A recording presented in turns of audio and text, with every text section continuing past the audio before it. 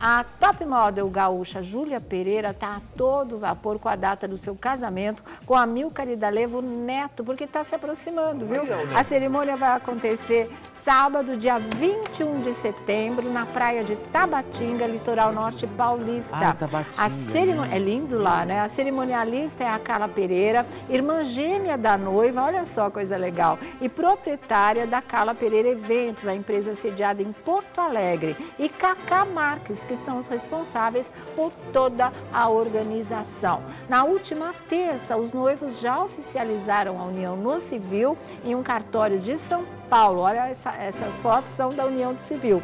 Os familiares dos noivos estiveram presentes com o presidente da Rede TV, Amilcar Idalevo Júnior, que é pai do noivo, com sua mulher, uh, Daniela Albuquerque, e a Fá Morena, que é a mãe do noivo, assim como os pais da noiva, Jaime Pereira e Cláudia Campani.